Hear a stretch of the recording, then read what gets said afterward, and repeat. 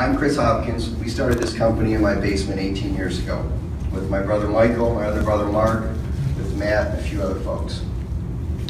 Uh, September 10, 2001. Something really big happened the next day and the basement flooded. So we had to, you know, change course.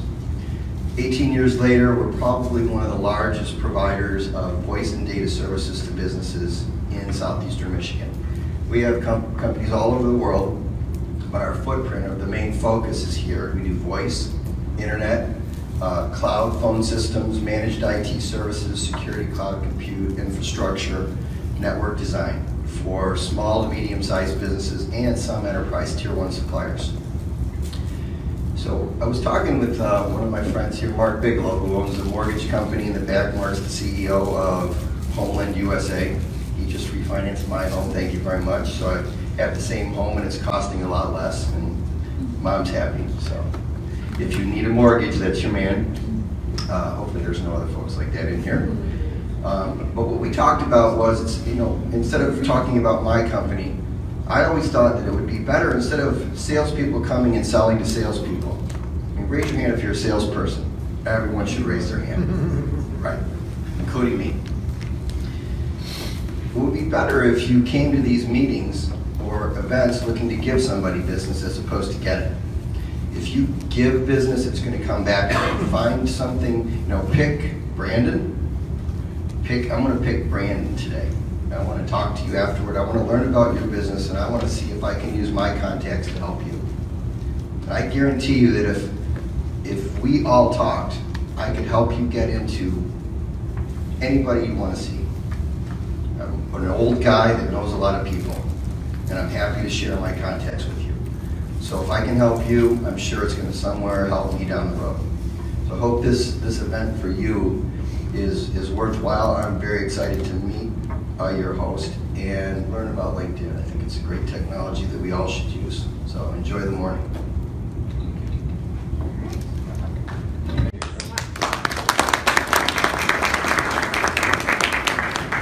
All right, we're gonna try to do this. Is this on? Okay. Yeah. I feel a little bit like Britney Spears when I have things like this on, so I might break into dance or song. Um, I, earlier this week, I should say, I brought my son with me to a presentation. His name's Joshua. He's 14, and I did the I don't know. Am I there? I don't know, something. And he was like mortified and his face turned red. So um, I'm doing a Facebook Live with us today, you guys. So this is going to be live streamed. And the cool thing is this is going to be played back so we can all watch it again later. If there's things that I'm covering you want to review again, you can look at the, the playback of the video. You can watch me try to do the, what is this called? The floss? The floss, Okay, yeah. thank you. I'm not cool. I was cool at one point and then I became a mom, right? Um, but you can watch my playback of the floss and mis- failing miserably at that, and you can really, more importantly, watch what we're doing on LinkedIn. Is this going in and out? We're okay? All right. I'm having a little bit of feedback on there. All right, so what I want to do to get started is um, I'll tell you a little bit about myself, and then I want to real, real quick go around the room and just hear your name and the company you work with, okay? But it's not going to be your life story, just the name and the company you work with, because we got a pretty full house here. But I think there's always value in networking and knowing who's in the room. A little bit later, we're going to get the chance to practice an introduction to someone on LinkedIn and personalizing that introduction. So you might hear the name and the company of the person you want to meet or introduce um, yourself to on LinkedIn. So you might want to jot those down. Okay. So a little bit of my background. I'm uh, I'm a lifelong marketer. About a year and a half, I leaned very heavily into my side hustle and launched Meller Marketing, where I help people and businesses with marketing and social media, and I specialize in LinkedIn. I've used LinkedIn as a job seeker. I've used it as a recruiter, finding talent. I've used it as a marketing representative, and now I use it pretty heavily as a brand ambassador for Meller Marketing, as a public speaker, trainer, and also for business development purposes to keep my business up and running. So that's um, really what brings me here today is to help all of you optimize LinkedIn as well. So hopefully you guys have your phones with you here today. Do you have your phones? Okay, so if you have the LinkedIn app on your phone, go ahead and bring your phone out and you're gonna have that in front of you because we're gonna look at that a couple of times throughout the presentation. And then, um, quick show of hands, how many people are on LinkedIn? Have a LinkedIn account, okay. Just about everybody. There's usually one or two people that don't, and um, by the end of this presentation, hopefully I have you convinced that you wanna be on the network. So what I'm gonna do, as I'm getting my slides up, I'm gonna have you go around the room. Again, if you could just say your name and the company that you're working with, okay? So we'll start with uh, Sheila. Sheila Denstead, Troy Chamber. Shamokin Grace Emmys Engraving and Gifts. Megan Christensen, Gordon Advisors. Danielle Workman, Fifth Third Securities. Andrew Sadler, Colliers International. Gina Setner, Financial Solutions of Michigan. Joan Hockenstadt, Intelligent Office. Keith Johnson, Western and Southern Life. Stuart Fairvich, CMIT Solutions. Good morning, I'm Brandon Recker for Habitat for Humanity, Oakland County. Christina Concord, Antina Promotions. Jill Golda, Jill's Organizing and Closets. Chuck Versloni, Wealth Strategies Financial Group. Mark Galvin, Caliber Home Loans. Diane King Brower, Keller Williams Domain Realty. Good morning, Josh Christian, Primerica. Maxwell Molly, uh, Meller Market. Eric Morton, Elite Imaging Systems. Uh, Danielle Reiner, DM Payroll Services. Scott Wyckoff, Walsh College. Ted F. Rose, Main Street Bank. Chris Caldwell, Stark Reagan, Law Firm. Uh, Noel Villawan, Sequoia Financial Group. Lance Shunia, Comcast Business. Jennifer Waji, HR Pro and Benefit. Uh, Barry Pierce, Connecting Blocks. Scott Lawrence, Headshots by Scott Lawrence. He did my photos, by the way. I feel like my photos, talk to Scott. He did Sheila's photos too, I think, right? Yeah. Mine too. Oh, good. Okay. Carl Manoogian, Primary Title Agency. Mark Bigelow, Homeland USA.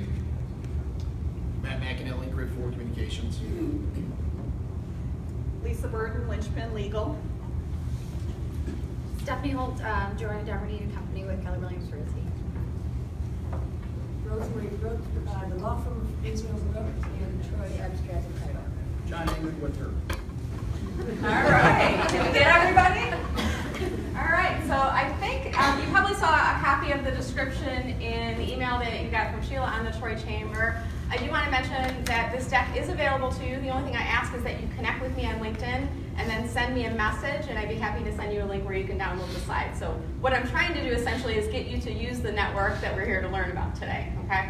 So that's what I ask of you. So um, we have our phones with us. If you have your laptop, go ahead and log into your laptop, and you can actually kind of toggle back and forth between your laptop view and the phone view, because your profile looks a little bit different in both of those areas. So kind of pay attention as we go along here. And um, a little bit later, I'm going to talk about some of my stats on LinkedIn, but as a preview for those people that are heavy users of LinkedIn, um, how many people know what the LinkedIn Social Selling Index is? Has anybody heard of that number before? It's got to be one person, a couple people in the room. Okay. So your social selling index is one of the numbers that LinkedIn gives you to kind of assess how effective are you at using LinkedIn and essentially how effective are you at social selling. The concept of connecting with the right people, building dialogue, getting good conversations started, connecting with decision makers. And it's a scale of 0 to 100. It's not a grade, it's just a scale of 0 to 100. And um, I say anything above 50 is really good. You know, you're active on LinkedIn, you're using it. Uh, highest I've ever been is an 86. Right now I'm at an 84, so I'm pretty comfortable with that. If you uh, upgrade to Sales Navigator, you can get your score a little higher, so it is a tool to help facilitate the upgrade to Sales Navigator. I've heard you can't get over a 90 unless you have Sales Navigator, so just frame of reference there. But just to give you a sense of, you know, my strength of using LinkedIn, I'm at about an 84 on, on that index of 100. And then um, right now I'm averaging about 2,500 profile views in the past 90 days. If you're looking at your profile, this is going to be one of the numbers in your LinkedIn dashboard. My numbers should be higher, you know, this is what I do for a living, but it just kind of shows my progress and the effectiveness of what I'm doing. And then right now, I mean, I'm a marketer. I'm heavy, heavily, heavily active on social media.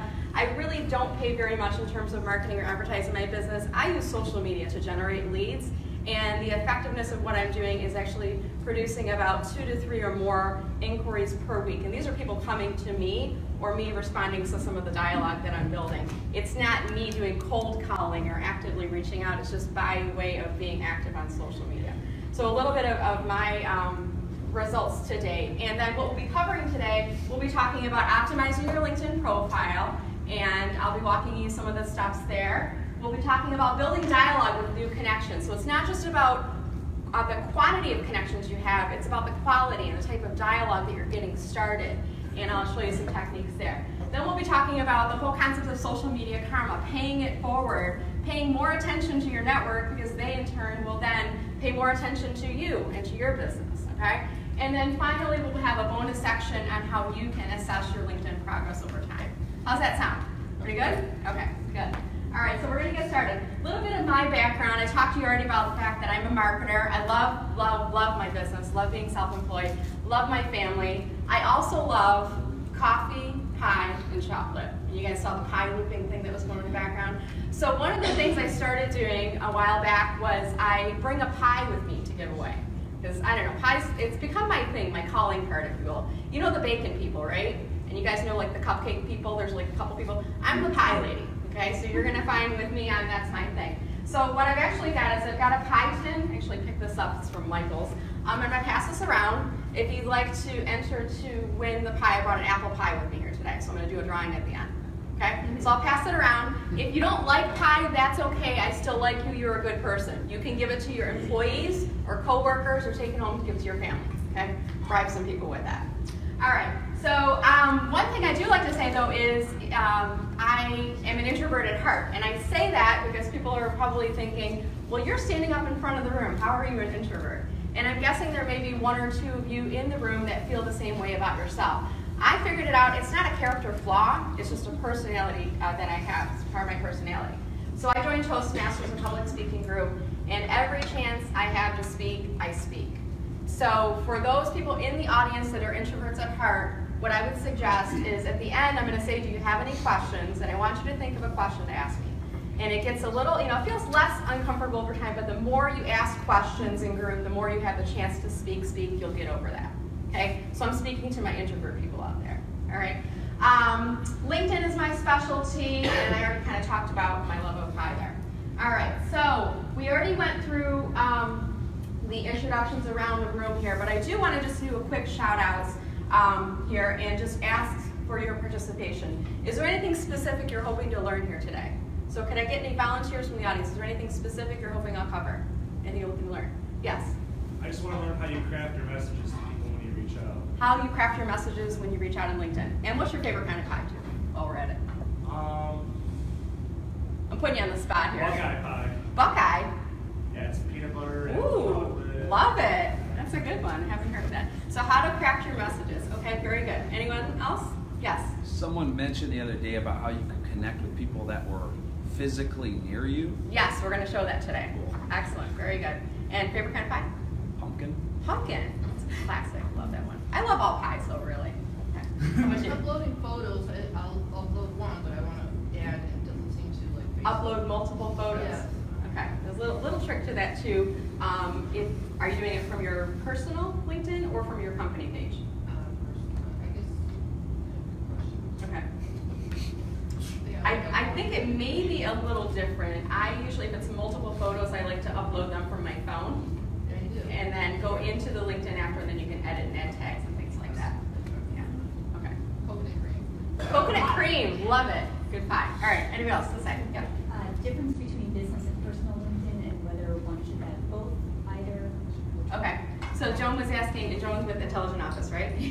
A little shout out, because we're gonna come visit her soon. Um, so difference between personal LinkedIn and a business LinkedIn, really what you're referring to here is you have your individual account on LinkedIn, which is your personal slash professional account, and then there's a business page that you have on LinkedIn. I do see some businesses that use a personal account for their business, and I would caution you, if, if that is you, that you don't use your personal account for your business. Um, it, it is something in the fine print of the LinkedIn terms of use that says that your individual profile is a person, and I'd hate to see you get that wiped out at one point.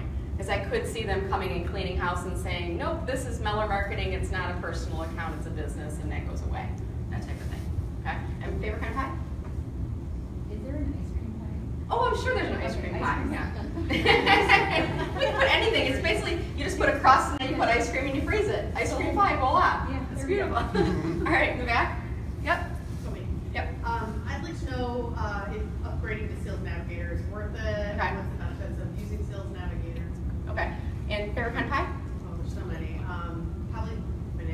probably banana cream, since you already took coconut, I'll. You can you can pick the same. It's okay. We're not I'm not giving them all away. I just want to open. um, so the short answer to that question, when to upgrade to Sales Navigator, I haven't yet. I don't need to. Um, what I would say is, on on average, when I'm talking to people and I, they say I'm paying for premium or I'm paying for Sales Navigator, I'll say, why? What are you getting out of it? I don't know. My company's paying for it for me, and I'll say, cancel that. Book me, and I'll help you to use LinkedIn. That's a better investment than paying for something that you don't know what you're getting the features out of. Um, if you're optimized on LinkedIn, if you're using it regularly, you really understand how to use the network, then I would say go up to Sales Navigator because then you can really fully utilize the benefits of that. Okay. Was there another hand in the back over there? Yes.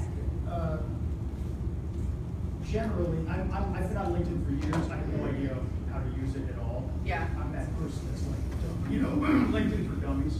But, but one of the things that I don't understand is I have uh, my business underneath my, my, my personal profile. Anytime I try to push or spread anything from my business account, I can't see it on my personal, it doesn't pop up on my personal profile for me to share it like as a person or anything like that. Right. But are you an admin on your company page? I should be, yes. Okay, we'll look at my page when, and maybe you can look at yours while we're in here. And then favorite kind of pie? Uh, rhubarb. Rhubarb. Strawberry rhubarb or just rhubarb? Just regular rhubarb. Okay, Okay, one more and then we'll get started. In the back. Um, I'm interested in how to get personal followers to follow your company page, particularly where, like, when I do a blog, it won't push it to a company page right now. I've discussed that with LinkedIn, so it Okay. goes to my personal page and then I have to share it. Yep. But how do I get people to follow my company rather than just me? Okay, follow, how to follow the company and not you. And what, what favorite kind of pie? Shepherds. Shepherds. You get the, that's the savory. We're in the savory category. All right, very good. Well, those are all wonderful pies and wonderful questions, and I hope to touch on each of those for, for all of you guys today. And the short answer to that question is how do I get more people to follow my company page on LinkedIn? You have to provide good content, you know, worthwhile content um, on a pretty regular basis. Two to three times a week is a good cadence of that. And then not be afraid to every now and again share your company page onto your personal page and remind people about, you know, this is my company page, give it a follow. You know, ask. Don't be afraid to ask your network to do that. Um, and even, you know, what I will do sometimes is I'll, for the most part, me, uh, my personal profile on LinkedIn, the things I'm sharing as status updates, that's me talking. A lot of times the things I'm putting on my company page, I'm repurposing others' contents, articles, videos, things like that. And occasionally, once a week or so, I'll share that out onto my personal profile and I'll add a comment to it. So it's still me, my voice sharing that. And then at the end of that comment, I may say, follow the Meller Marketing page for more updates like these or for more tips like these. So I'm trying to dangle that carrot out a bit and make it enticing for them to want to follow the page. All right, so very, very good. And my goal today is that everybody learns something new. So I want everybody to walk out of this. Now, there's a couple people who've seen me present before. Chuck, you're one of them. So at the end, I'm to ask Chuck if he learned anything new. But um, my goal is that everybody learns something new here. So some starters um, as we're getting getting going here. Right now, I think there's 575 million members on LinkedIn. I do want you to keep in mind that only about half of people go on LinkedIn on a, a, a fairly regular basis, meaning monthly or more. So about half of the audience is not on there. So keep that in mind as we go throughout. I also want you to keep in mind that your company might have policy with regards to using social media and using LinkedIn, especially those in the financial arena. A lot of times you have to have things cleared by compliance. So make sure you know what the rules are on your company. When in doubt, don't post it. Um, you're going to have a different comfort level depending on your own personality. I'm pretty open. What I share on LinkedIn is all related to my profession, my career. I show my photo. You know, I'm comfortable doing those types of things. You might have a different comfort level. But my goal is that you listen to these insights and um, you know decide for yourself what you want to make work for you. And then the last thing is I'm a very heavy user on LinkedIn. So the things that I'm showing you on screen on my LinkedIn view may look a little different than your view. Okay? So keep that in mind if you're looking back at the slides going, wait, I don't see the document share thing that she has. Well, it just hasn't rolled out to you yet. Um, the heavy users, they usually will give us things first, so we kind of kick the tires, try things out. So do keep that in mind as we're going throughout today. Oh, and then the last thing I say on here is visit my profile as often as you'd like. This is what I do for a living. I optimize my profile. I'm always going in and tweaking it, adding new things. So visit it as often as you'd like. I'm not going to get weirded out saying, why does Chuck keep looking at my profile? He's looked at me five times this week. He's stalking me. No, I'm like happy. I'm like, oh, good. Chuck's doing his homework. He's looking at my profile. He's working on things. So feel free to look at mine as often as you'd like there. So we're going to start with talking about how to optimize your LinkedIn profile. And what I want you to keep in mind here is that when we're thinking about optimizing our profile, we're optimizing it for people, for human beings, but we're also optimizing it so that we can come up in searches, so that we're making it um, search friendly by the LinkedIn, the, the, the coders and the algorithms and the things that are running behind the scenes. So um, you're writing it ideally, you know, for your ideal target audience. So think, you know, right now, who am I trying to reach on LinkedIn? Who is that ideal target audience? For Scott, it might be an MBA um, future student. For Sheila, it might be a prospective Troy Chamber member in the future. So for whatever your audience is, think about who is that ideal target audience, and then everything on your profile should be through that lens. So as you're trying to evaluate, what do I put for my headline? How do I describe my summary? What skills do I put in? What experiences, etc. Think about it through the lens of why does that ideal target audience care about this? How does this help to demonstrate my knowledge, my expertise, my passion to get them to stay on my profile? Okay? And then um, you want to use the maximum character count. So for example, in your summary section of LinkedIn, you have 2,000 characters total to tell us your story. Use the first person, tell us who you are don't just write one sentence and then go on to the next because what happens is all of these keywords and phrases that you put into your profile are going to help you to come up in searches. So if you only put one sentence where you've got 2,000 characters to work with, you're losing some opportunities for searches there. Fill out all the fields. Just go through everything they offer there and try to fill out as many of those fields as you can, okay? Think of LinkedIn like Google. So when you think about Google, a lot of companies will spend time and money and resources on doing something called search engine optimization. So essentially making their site very search friendly so that when I go and type in pizza places in Troy, Michigan, I'm the top pizza place that comes up in the search. Your LinkedIn is the same way. You want to come up in the top of search results for people that are looking for your products, services, expertise, okay? And on that end, um, think about the fact that redundancy works in your favor. If you look at my profile, you're going to notice that I have certain keywords and phrases that are repeated several times throughout. If I want to be found for LinkedIn strategy, for LinkedIn coaching, I have to use those words multiple times throughout my profile. You're going to see them in my headline. You're going to see I have a specialties keyword list in my summary section. You're also going to see in each of my experience section I have a specialties keyword list. And then in my skills, I've repeated those again. Redundancy works in your favor. It is okay to be repetitive. It actually will help you to come up in more of those searches. Okay, so um, if you have your laptop in front of you and or your phone, I want you to look at these right now and look at your profile. So actually go on your profile right now. And you're going to notice there's a couple things that are a bit different between desktop and your mobile. First, your desktop, your headshot photo is left aligned. On the app, your photo is in the middle. So keep this in mind when you're looking at this header image that you have in the background. Often I look at profiles and I see a logo right in the center because they've set their profile up on desktop and then when I go on mobile I can't see the logo, it's hidden by your face. Okay, so that's why I always use, I use something branded in the background. I always put a marketing tip, a LinkedIn tip, something in here, and I always put it right aligned so that you can see it on mobile and on desktop. Okay? Also do keep in mind that on desktop, I can see your contact info right here. If I want to do business with you, make it easy for me. Don't make me dig and poke around and try to figure information out. Contact info, make sure that's filled out. I also duplicate, I put my email address right in my summary and it's in the first three lines so you can really easily get a hold of me. You're gonna notice on the mobile in the app, you can't see contact information anywhere up here. Okay? So you actually have to scroll all the way down to the bottom, and if you know it's there, you click to expand and then you can see your contact information. Okay? So thinking of your ideal target audience, they've landed on your profile, they want to do business with you, don't make it hard for them. Make it easy for them. Okay? And a couple other things you're going to notice on here. Your summary statement, you've got three lines in the desktop, three lines in the mobile, but you see about 25 to 42 words here. Bless you. You only see about 10 to 12 words on mobile. Okay? So when we're writing our summary statement, make sure that it's front-loaded, top heavy. The very first sentence has to capture their attention. And even look at yours on desktop and mobile. Are you capturing the essence of what you do in that first sentence there? Okay? So now moving along, I have this profile optimization checklist. I'm gonna go through this kind of quickly here today, but you can refer back to this as you're watching the playback or if you get a copy of the slides. So starting at the very top, what I like to look at is you've got two areas for images in your profile. First, let's talk about your headshot photo.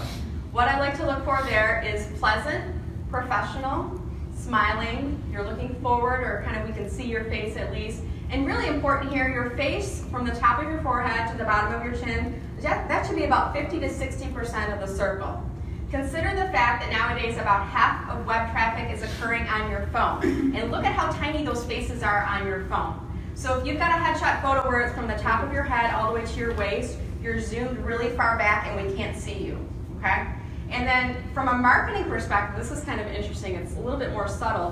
When your headshot photo is more zoomed in, when you're about 50 to 60% of that circle of your face, when you're more zoomed in, you look more important, you look more impressive, you look more personable, because people can see you a little bit better. The further back you are, the less important you look, the less impressive you look, the more diminutive you look.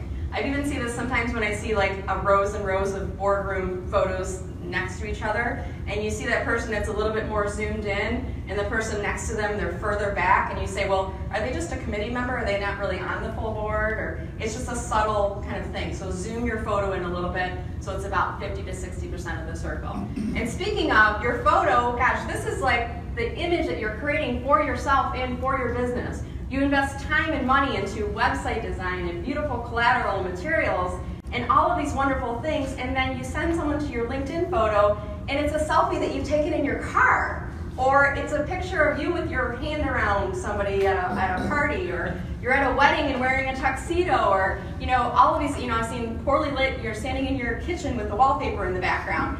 You're being a representative of your, of your company and your business. You want to put your best face forward. This is the image they get of you every time they come to your profile. Invest in a photographer. It's well, well worth it. Okay.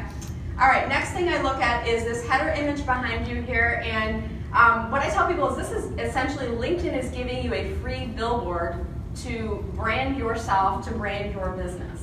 And my guess is there's probably about half of you that have the default, which is a teal with the dotted lines and interconnected, looks like a galaxy or something. So this is an opportunity to add some branding in. If you do not have something in the background there, go back to your office today, tell your marketing person, Brenda said I need a branded header image for my profile, what can you give me, okay? So really something that aligns with your business or your industry would be great. So for the folks here at Grid 4, if you've got something where it's a picture of the building in the background with a Grid 4 logo on it, or maybe it's something that the graphic designer has created with, you know, the Grid 4 logo or some other product imagery or something like that, that would be a great idea. At minimum, change it from the default. You can certainly use stock photography from like Pexels or um, iStock photo or any of those sites, you know, mountains or scenery or even color effects, but use something different than the default.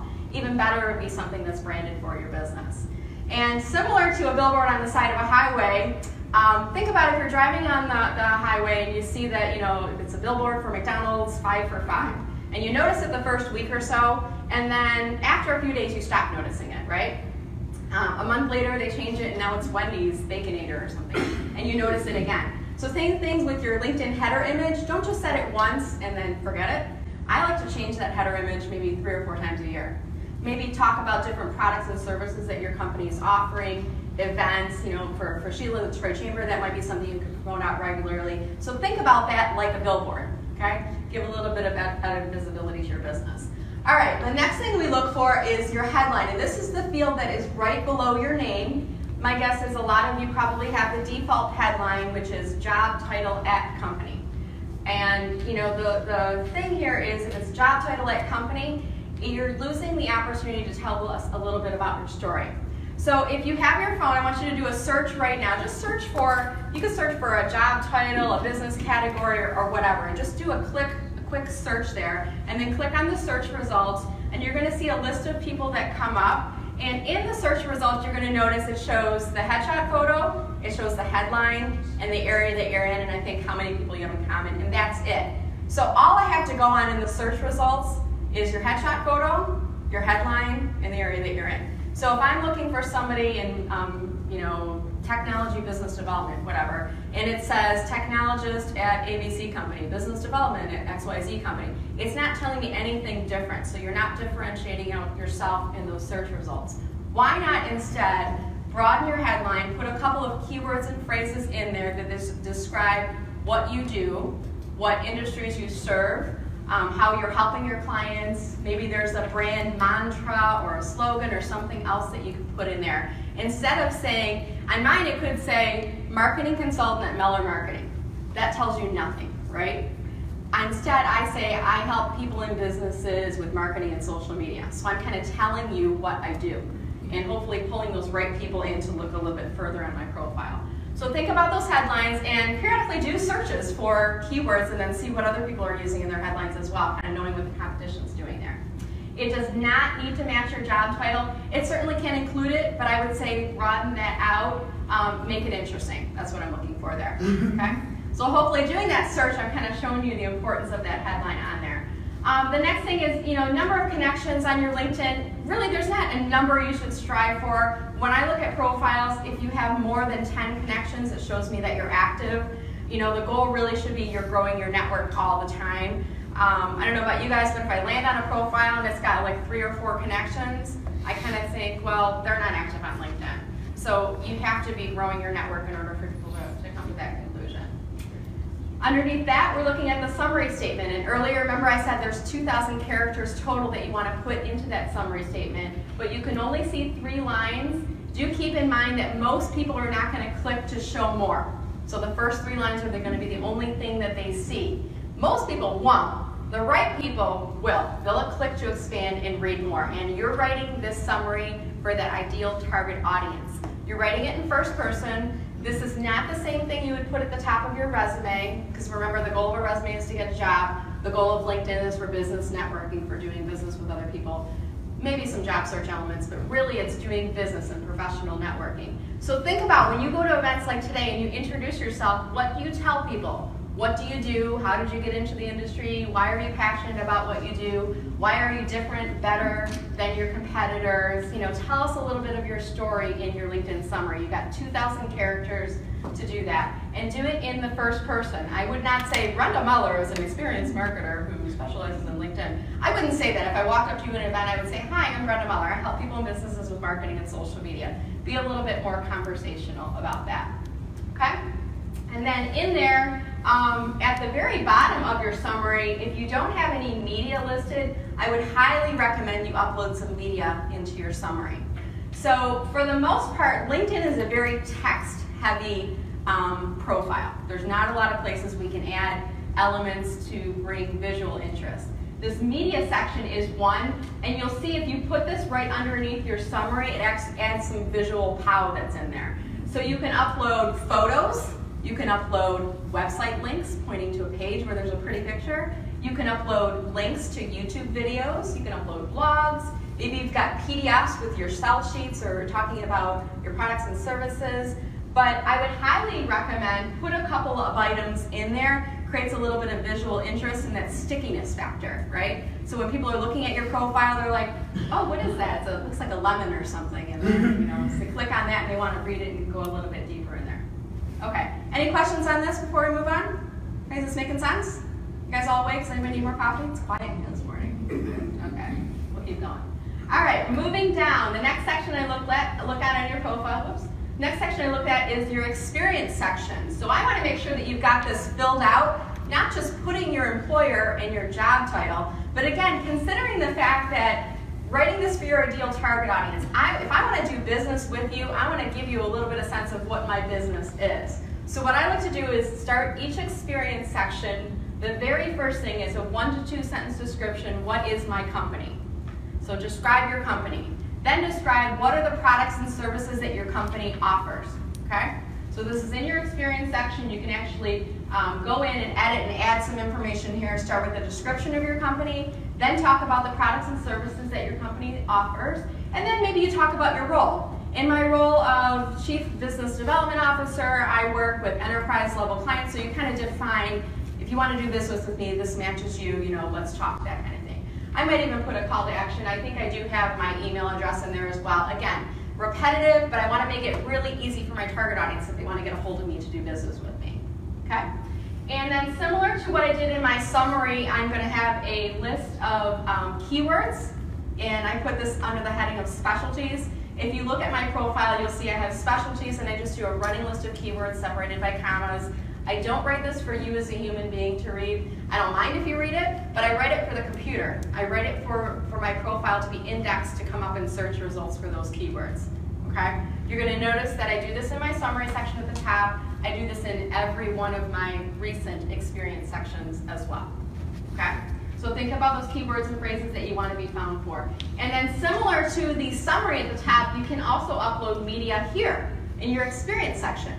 So what I tell people is your summary at the top, that's the highest level of visibility for your media. Let me go back here for a second. This is the highest level of visibility. A lot of people will see this. When you go down to the experience section, this is kind of like secondary. But again, use that, fill it out, create some visual interest in there, and create some stickiness in your profile. Yes? Now, on the mobile app, Yeah. you have to, uh, I, I'm looking at mine. Yeah. And all I have is, this is the first couple lines. Yep. You have to click on it to open You it up do. on the mobile app. Yep. Is it automatically open on the web, uh, Um, or do you have to click on it there too? You have to click on to expand it to see it out. Well, let me think about this, because if you're looking, this is an expanded view right now. I don't have my computer up in front of me. Do you have anything in your desktop on your profile for, for media? Not for media. Okay. But like I said, you know, when I, when I first glanced at it, it said, Yeah. just an owner of all strategies with a time frame. I think in Then I desktop- click on it and it popped open. I think in and desktop clicked view on is it still, again and I think it opened shows it again. in collapsed Yeah. view, but um, I would need to look at it in the desktop. But that is something really important to keep in mind. When you're building this, look at it and, you know, land on your profile, see what you're seeing, because you want to kind of know how deep did you need to dig to look at these things, but still fill it out, put a couple items in there. Good question. There was another hand, yes? I've in the past um, have really been focused on business on LinkedIn, and then I was given a tip that it should be more focused on you personally, like what you are, who you are, rather than your business. So mm-hmm. you're kind of saying lean more toward your business, which is what I've done in the past. So Yeah. which which lane should you be in? What I would say is, I mean, this is a professional networking site. It's for business, careers, things related to that. I actually, in, in the summary, I like to do a little bit of both. I like to tell about my business and then talk about myself personally. If you look at my summary, you're going to notice I start with an overview of what my business is and what I do and why I help people, and here's the presentations and topics I do. And then towards the end, I talk about here's some personal goals, here's some things I'd like to do, and I have some inspirational quotes and mantras and things like that. So I show, I pull back that professional exterior a bit. I bear a little bit of myself to my network, um, but talking about things that are personal to me, related to my career and to my business. Does that help? Yeah. I think definitely go, that goes along with the line of talking in the first person. You know, you want to be a human being and you want to be relatable, um, but you still, this isn't Facebook. We don't want to go there. You know, we want to keep things in, in kind of that the lane of professional and career on a personal level. Good question. But I would say that's more so for your summary section. Your experience sections really should be more about your employer. You know what you do, things like that. Okay, good questions. All right, keep going. Any, was there another hand or did that edit? I think that was it. Okay, we'll keep going there. So we've got our experience section filled out, and what I would say is focus obviously on your current employer, you know, just defining that the most. I still fill these out for each of my previous employers as well, because it helps me to come up in search results. I just don't spend as much time on the previous employers. Okay? What if you own multiple businesses? If you own multiple businesses, so you can um, certainly list all of those businesses on your LinkedIn profile. You can reorganize those, so if you want your primary employer to be at the top, you can just put that at the top of uh, that experience section. And one thing I actually do is I serve on a board for an organization called Together Digital Detroit, and I have my board experience in my experience section, but I have it below Meller Marketing because Meller Marketing is what pays the bills. You know, this is a board, a nonprofit um, pro bono experience that I'm getting there. Okay, good question. All right, so speaking of your employer section, I want you to look on yours right now and make sure that next to your company name, you're seeing your logo there, something along there. And if not, if you're seeing this gray building avatar, I like to say gray is not okay. If you're seeing the gray building avatar next to your experience for your current employer, that either means you don't have a company page yet, or it's not properly linked to your profile. Okay? So if you know for certain you have a company page, go in, edit, delete the company name out, and add it in, and you'll link it properly in there. Okay? If you don't have a company page, highly, highly recommend setting that up. It's free to do so. Very little hoops to jump through. I think you go under the more um, your me button, scroll down to the bottom, and then there's a create a company page link in there. So super easy. Let me know if you have questions about that. This is just an example. This is one of the companies I, I'm, I've helped hire a wife. She does house cleaning. You know, when, when your life is a stripe, hire a wife. She, she does that kind of stuff. So I set up a company page for her. All right, moving down, the next thing I want you to look at is your skills section. So the heading reads skills and endorsements. And um, really important here, we have uh, 50 skills total that you can fill out in your skills section on LinkedIn. How many skills do you think I have on my skills section? 50, right? Because profile optimization, you use all of the available fill, uh, fields, fill those out on your profile. What's even more important though than using all 50 are what are the top three? So right now I want you to look at your skills section and look at those three skills that you see. Do not click to expand, just look at the three, and those are the ones that are pinned to the top of your skills section. Are those the three things that you want to be known for? Are those the th three things that are going to be most relevant for your target audience? If not, you can and should consider reorganizing them.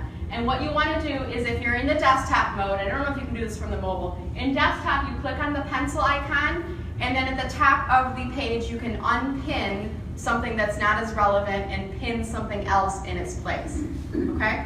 If you're looking at your skills list and you say, well, gosh, what I really want to be known for is event management and that's nowhere in my skills list, then you want to click on add a new skill and add those in there.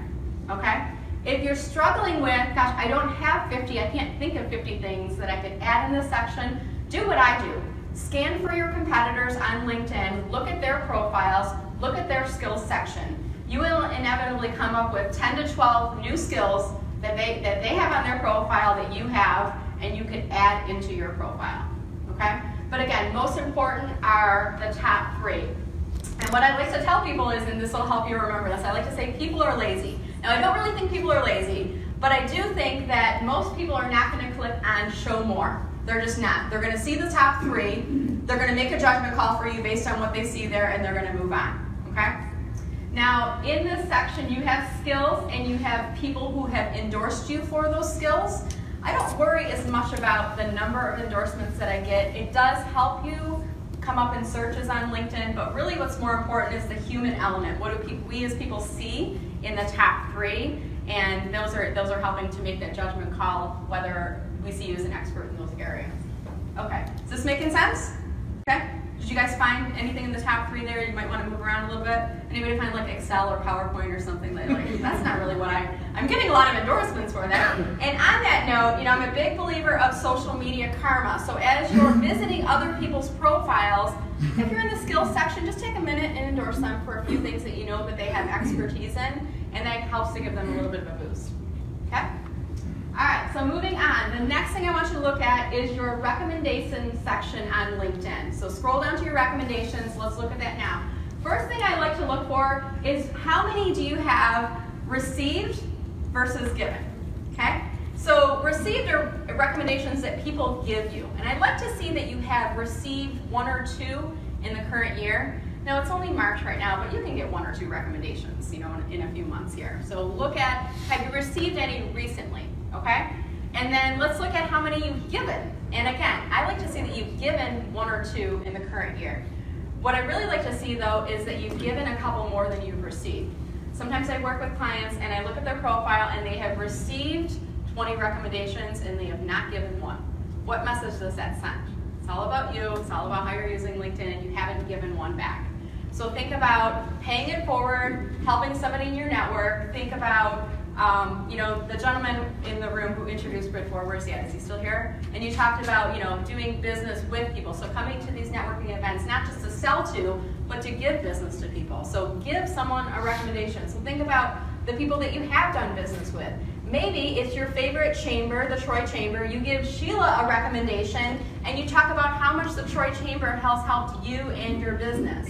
Maybe um, Scott, who's already left, who's a photographer, maybe I give Scott a recommendation as my photographer. I'm paying it forward, I'm helping build visibility for others. What Okay? you don't s- I don't see recommendations on mine. So you may not have any recommendations yet on your profile. Okay? If you're not seeing that section in there, it's probably because you don't have any yet. So um, what I would suggest is starting by paying it forward, you know. And to pay it forward, let's just use Sheila as an example. You don't mind that I use her as an example here, do you? So you, if you're already connected with Sheila, you would go on her profile and click on the More drop down, and there would be Recommend as one of those options. Okay? So that's how you start it. Was there a hand in the back of the room? Yes. So are you actively asking for recommendations? So I do a little of both. Sometimes people just give them to me. Other times, mean, what I would say is you do want to occasionally request recommendations. And what I would say is focus on requesting them from people that you know will give you a recommendation. If it feels awkward to ask them, they're not the right people. It's the people that are jumping up and down, that love doing business with you, that love working with you, or maybe worked with you in the past and you still have a great um, working relationship with them, right? So think about the people that would say, hey Brenda, if there's ever anything you need, let me know. I'd love working with you. You're great to work with. Actually, there is something, Stuart. Could you give me a LinkedIn recommendation? You know, that type of thing. If I am in a client engagement, working with a, um, a, a, great um, organization, at the end of the engagement, I might say, hey Emily, it's been such a pleasure working with you and your team. Um, would you be able to give me a LinkedIn recommendation? And I do it right then when it's kind of fresh in their mind and we've had a great experience working with each other. What I'll actually do is I'll email them and I'll say, hey Emily, you know, great experience working with you. Would you mind giving me a LinkedIn recommendation? It helps me as I'm growing my business to hear from customers like you. Um, and then when she replies back through email saying, yep, I'd be happy to, then I go onto LinkedIn, go onto her profile, and I click on request a recommendation so it kind of serves it out to her. But she knows it's coming from me. Does that help? So you make the request on LinkedIn? Yes.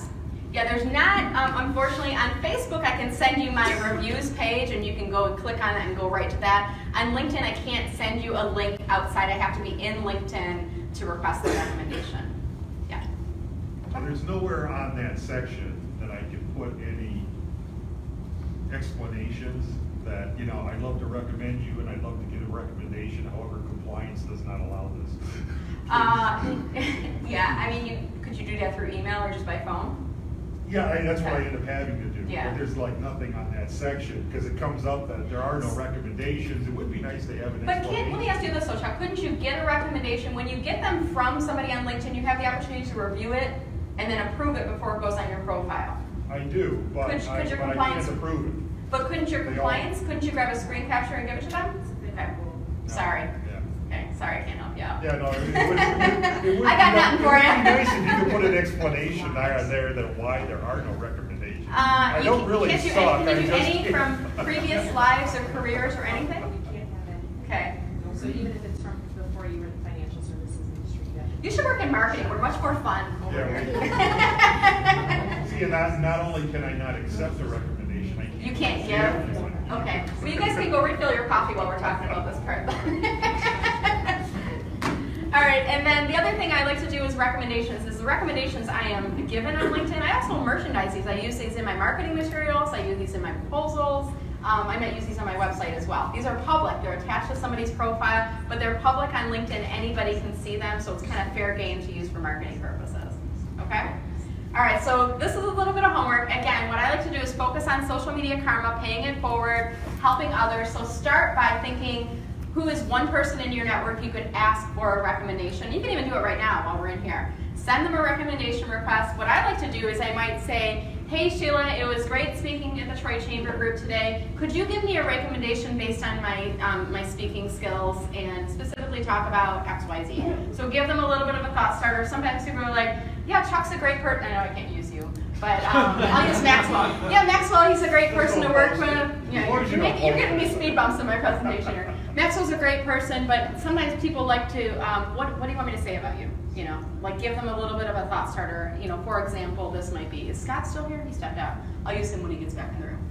Yeah. Here's a question. I may be going through my recommendations as we're talking, and maybe I had recommended someone under a prior role they had. Okay. Do you recommend them again? How does that work? I don't know that you can give them another recommendation. I think when you've given them one, I think the option is removed. I could be mistaken. I have not been asked that question before. Yeah, but if you've given them one before, you've given them one. So They may be in a different role now. you should try giving that person another recommendation and let me know what happens. So it. All right, so these are good. And then the other thing is, if you're struggling with how do you describe yourself, look at what people say about you in the recommendations. That might give you some themes and some keywords and phrases that you can use as you're describing yourself in your summary. Okay? So think about that. All right, any other questions there before we move on? And what I like to do in here, I think one other mention I had is focus on strategic recommendations, meaning focus on people who have large networks who could say nice things about you, focus on them. Because the great thing about recommendations on LinkedIn is these are viewable on the individuals who have given you the recommendations as well as on your profile. So um, I had, you know, do you guys know Roy Sexton? Roy's like the, you know, awesome legal marketer. So he's given me one, I've given him one, but we can see each other's on our profiles. He's got a really large network, very well known in the marketing community. So that's just an example there. All right, so next thing I want you guys to look at, if you're in your desktop view, you can look at see contact info. If you're in your mobile phone, um, the app, you have to scroll all the way down to the bottom of your profile to see the contact information, and even then I don't think you're going to see exactly everything that we see here on the screen. Those people that are on the desktop, or if you want to just follow along with me on the screen. So what happens here, if you click on see contact info, this box pops up and it's a whole bunch of stuff that's going on over here. So it starts with your LinkedIn URL. Hopefully this is simplified. If at the end of your URL you see 1A, OB, QC, some gobbledygook stuff, we're going to fix that in a minute here. But we'll, we'll skip that for now. Underneath that, you have the opportunity to add up to three websites. Most people will put their company website in, and then in the drop-down option, they choose company. And then what happens is it'll say mellermarketing.com company company website, I think, right next to it. What I do is I choose the word other, and then I can add a couple of keywords in to describe what is my company. Okay? So instead of choosing company as the website type, choose other, and then when you choose other, you can add a couple keywords in there. Okay? You have three websites. Remember earlier I said fill out every area of your profile, use every space they give you. So what I've done is I put my main webpage where I say LinkedIn and social media coach. I've also put, you know, other things that I'm trying to promote about myself and my business right now. So I'm putting a specific web page in for events and presentations. Here's my upcoming events. I chose other, and then I put upcoming events. And then I put in presentations, book me as a presenter. So I'm specifically promoting products and services as well as my website homepage.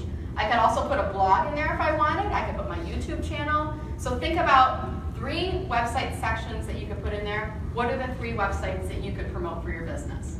Okay? And don't choose company, choose other, because then you can write some keywords going in there. That helps with uh, profile optimization.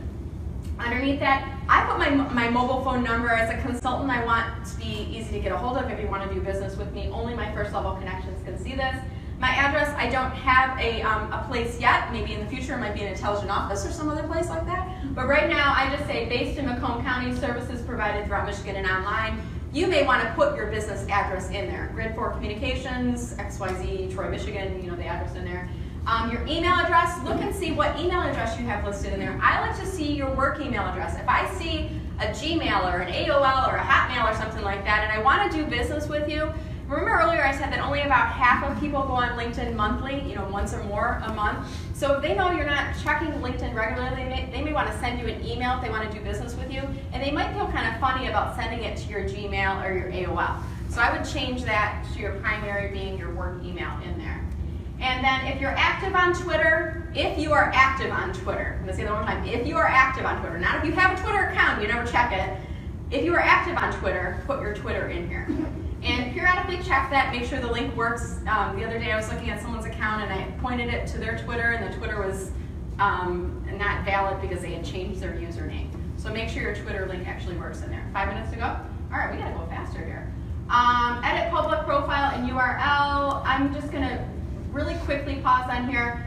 Edit public profile and URL at the top of your screen. What I like to say is blue shows us you. Make sure you have all of these buttons toggled over to blue okay? So maximum visibility there. Um, building dialogue with new connections. So um, you guys know Inigo Montoya, he does a really great job of, of the great elements of a LinkedIn invitation. We're gonna practice this with each other here. So he says, hello, my name is Inigo Montoya. You killed my father, prepare to die. He has a polite greeting. He has his name, He has a relevant personal link and he's managing expectations. Now, you're not going to tell people you're going to kill them on LinkedIn, you also should stop sending out invitations that don't have a personal note in them. So from this moment forward, you guys promise you will always send a personalized invitation, okay? This is going to help you to build dialogue with your connections, and this is how you do it. So I did a quick check, check um, for people in the Troy Chamber, people I'm not yet connected to, and I found several names. Now do not click on the connect button here. If you do, it sends that invitation off and you don't get the chance to personalize. Same thing in mobile. If you click on these little icons here, it sends the invitation off. You do not get the chance to personalize. Instead, you want to click on their name to go on their profile. And I know I'm on the profile when I can see the header image behind them, okay, whether it's a teal blue or a picture. Then I want to click on the connect button. Some people, myself included, I've changed my default button. It no longer says connect, it says follow. So if you don't see follow, if you don't see connect here, click on the more and you'll see the connect button, okay? But be on their profile, click on connect, and then what you're gonna do is you're gonna personalize the invitation. You're gonna click on add a note. So with the elements I like to look for, hi, first name, have we met or not?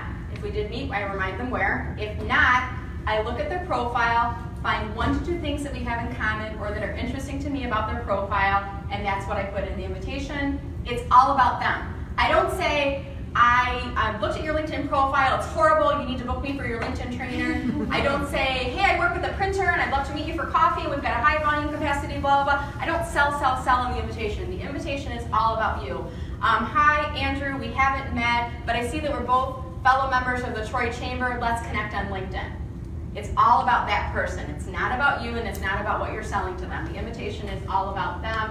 Ask for the connection and then I send it. So in this case, hi Amy, we haven't met, but we're both in Metro Detroit and we both share experience in marketing leadership and several common connections. Let's connect on LinkedIn. You're trying to entice them to get them to accept it.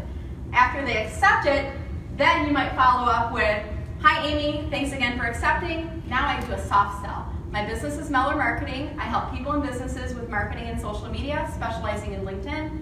Let me know if I can be of assistance to you. Also, tell me a bit about what you do.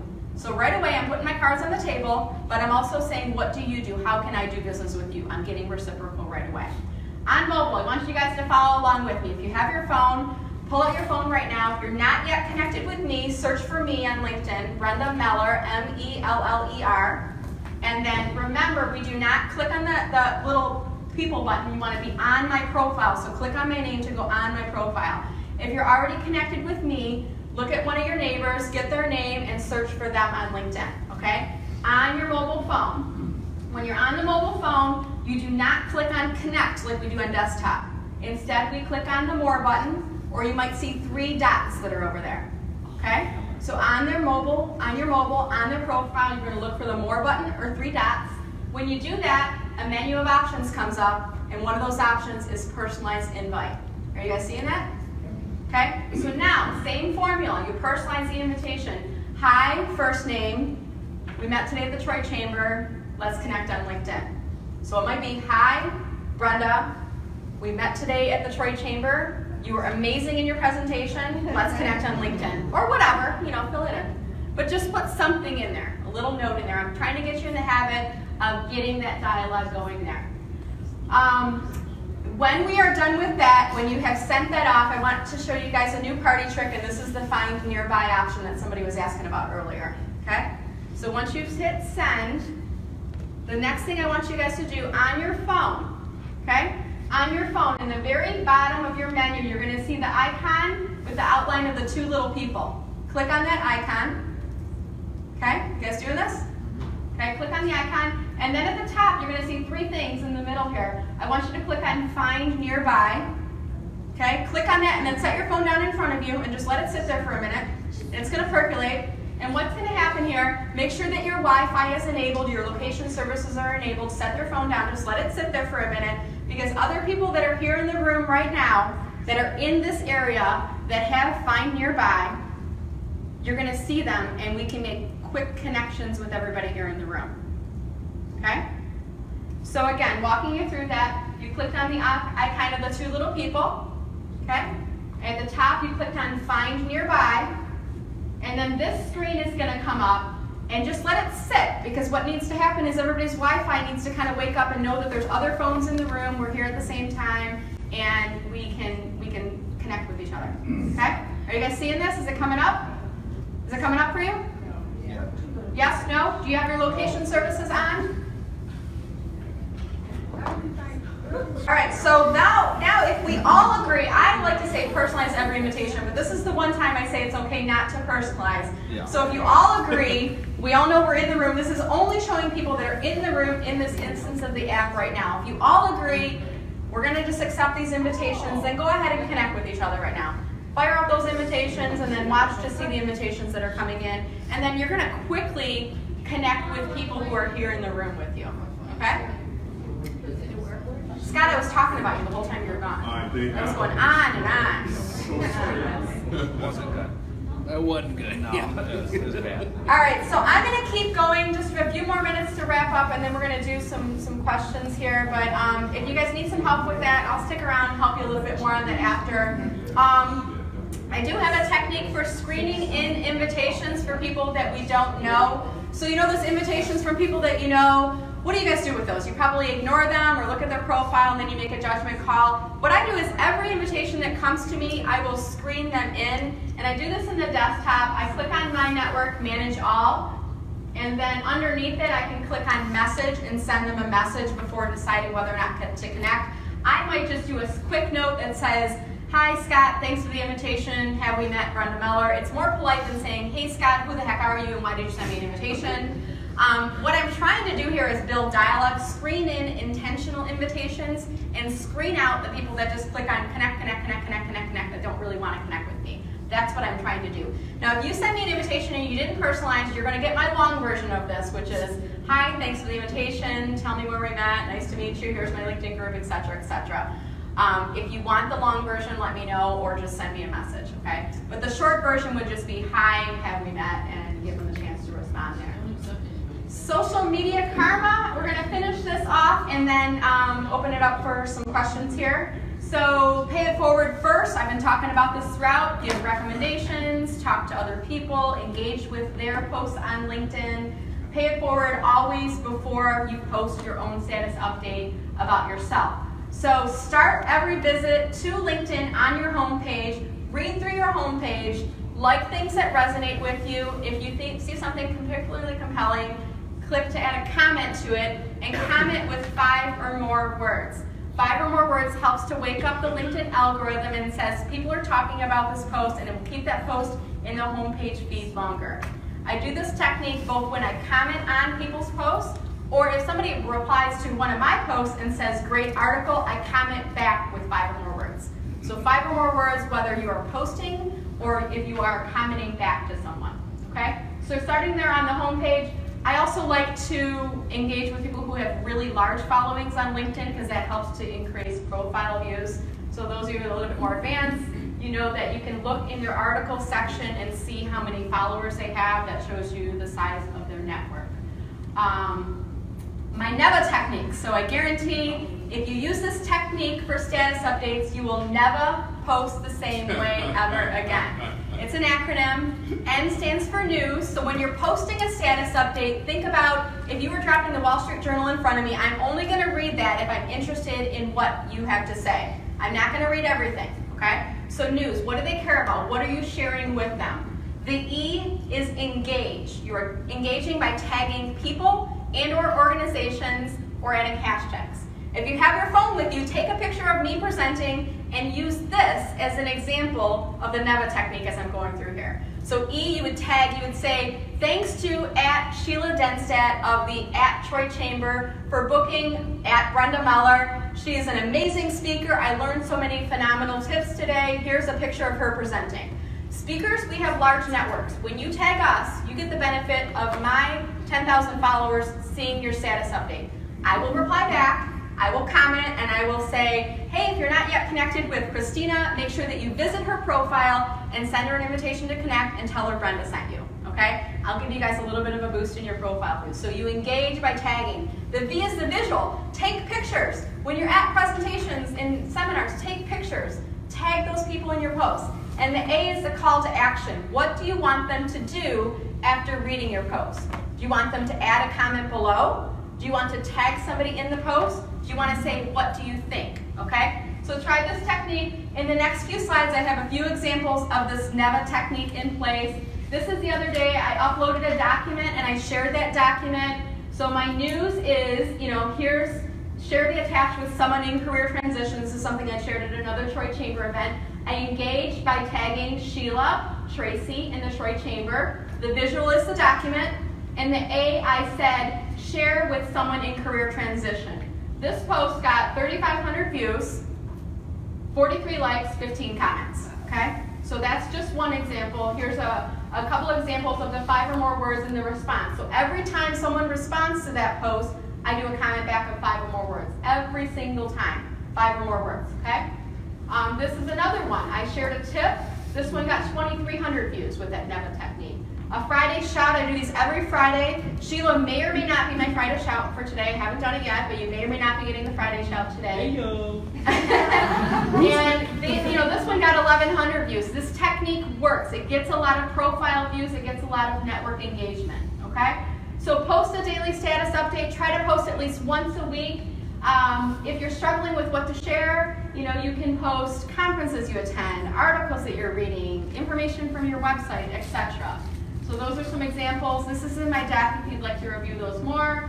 Assessing your progress. I know we're getting tight on time, Sheila. Okay.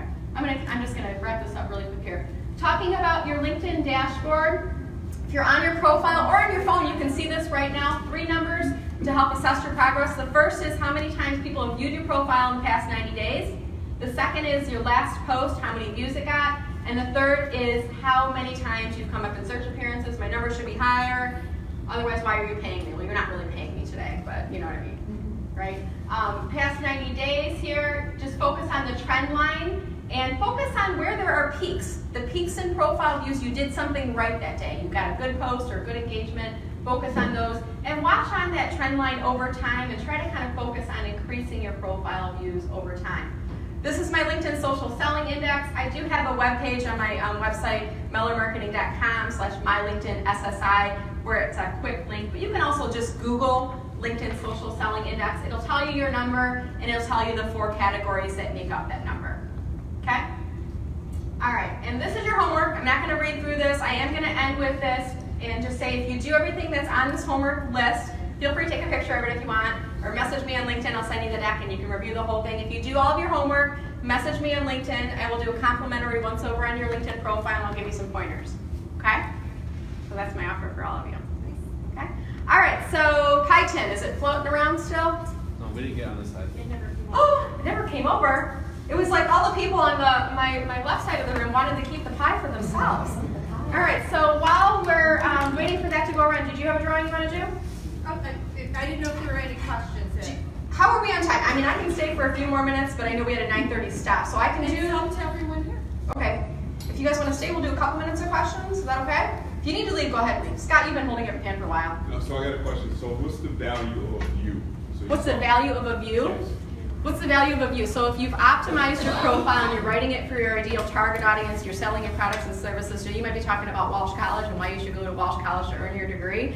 Um, getting people to view your profile, you're bringing them into kind of call it your sales funnel, Okay. and you're describing yourself to them, and then you're making yourself relatable, personable. They might reach out and say, "Hey, Scott, I'm thinking about going to Walsh for my degree. Can you help?" Right? Oh, okay. That's the problem. I mean, it, it depends on what are your goals on LinkedIn. If your goals are to sell products and services, the power of you is you're having an audience read about you and your products and services. If it's finding a job, it's you know doing other things like Okay, that. the reason why I was asking is I noticed that you have people that do likes and you have people that make comments. Yeah. And even though those sometimes may not be a lot.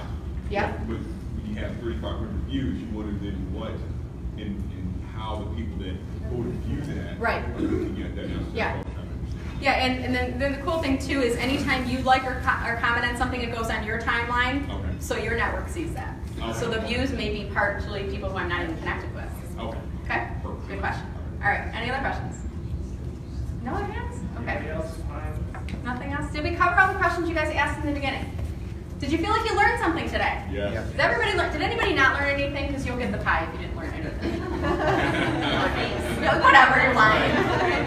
Okay, um, can I ask you bring it home? Because I, I can't. Take you them know. off. I'll, I'll pull like someone I know and they'll be like, oh, you know Scott, you know? Watch it's him. I don't. Joe. Joe! Where's Joe? You must be present to win. Is Joe here? Yes.